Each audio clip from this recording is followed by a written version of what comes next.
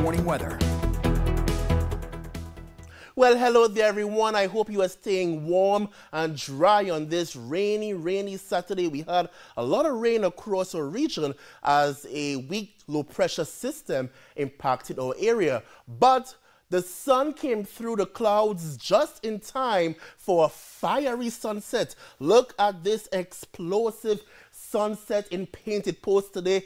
Thank you, Emily Scott, for sending us that picture. So again, we had that weak area of low pressure that brought those showers earlier. As you can see, much of the rain is impacting New England with some moderate to heavy pockets of rain. But in our neck of the woods, the rain continues to taper across the Twin Tiers. We're just seeing some spotty light showers. And again, these light showers will end within the next hour or two. So right now, our temperatures are ranging from the lower to mid 40s across the Twin Tiers, 44 in the Glen, 44 in Tioga, 43 in Wellsboro, near 48 in Dansville, and 44 in Penn Yan.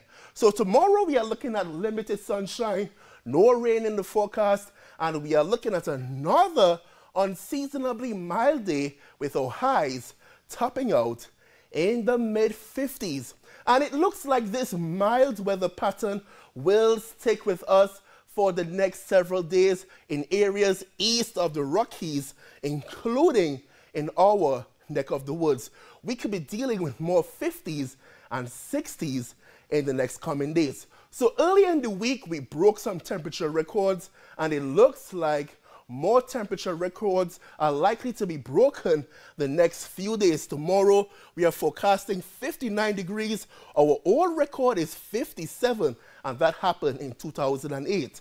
Monday, 67, and our old record is 62. Tuesday, 61. So there is the potential for more temperature records to be broken the next few days. So our average high is 40 degrees finally for this time of the year.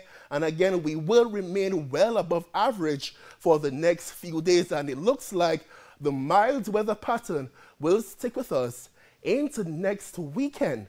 So Sunday and Monday will remain on the dry side as high pressure dominates. Then there is a chance for a few showers later in the day on Tuesday. And then we are watching a cold front which will swing by with more rain on Wednesday. And we could see those showers overlap a bit into Thursday. Drier on Friday, but showers will return on Saturday. So if you are planning on, let's say, washing your car, well, weather conditions will remain on the dry side for Sunday and Monday. However, we are tracking a few showers for Tuesday.